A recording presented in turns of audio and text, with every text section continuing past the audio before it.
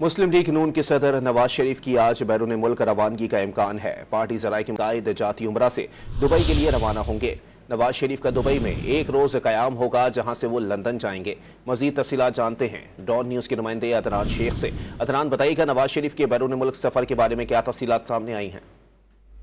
आज बिल्कुल मुस्लिम यून के सदर नवाज़ शरीफ अब से कुछ देर के बाद लाहौर से दुबई के लिए रवाना होंगे और नवाज़ शरीफ की गाड़ियाँ इस वक्त तैयार हैं। जाती उम्र से जो है वो एयरपोर्ट के लिए रवाना होंगी, जबकि नवाज़ शरीफ गैर मुल्की एयरलाइन की प्रवास के ज़रिए लाहौर से दुबई के लिए रवाना होंगे। नवाज़ शरीफ का दुबई में एक रोज क्याम होगा, जहाँ से वो लंदन भी जा सकते हैं और उनतीस अक्टूबर को लंदन से नवाज़ शरीफ अमरीका भी जाएँगे। जबकि जरा का ये कह रहे हैं कि नवाज़ शरीफ अमरीका में चार रोज क्याम के बाद वापस लंदन पहुँचेंगे और लंदन में नवाज़ शरीफ की अहम शख्सियात से मुलाकातें भी मुतव है। जी।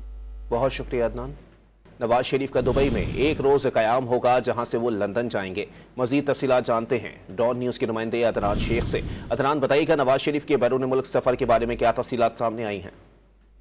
आज बिल्कुल, मुस्लिम यून के सदर नवाज़ शरीफ अब से कुछ देर के बाद लाहौर से दुबई के लिए रवाना होंगे और नवाज़ शरीफ की गाड़ियाँ इस वक्त तैयार हैं। जाती उम्र से जो है वो एयरपोर्ट के लिए रवाना होंगी, जबकि नवाज़ शरीफ गैर मुल्की एयरलाइन की प्रवास के ज़रिए लाहौर से दुबई के लिए रवाना होंगे। नवाज़ शरीफ का दुबई में एक रोज क्याम होगा, जहाँ से वो लंदन भी जा सकते हैं और उनतीस अक्टूबर को लंदन से नवाज़ शरीफ अमरीका भी जाएँगे। जबकि जरा का ये कहना है कि नवाज़ शरीफ अमरीका में चार रोज क्याम के बाद वापस लंदन पहुँचेंगे और लंदन में नवाज़ शरीफ की अहम शख्सियात से मुलाकातें भी मुतव है।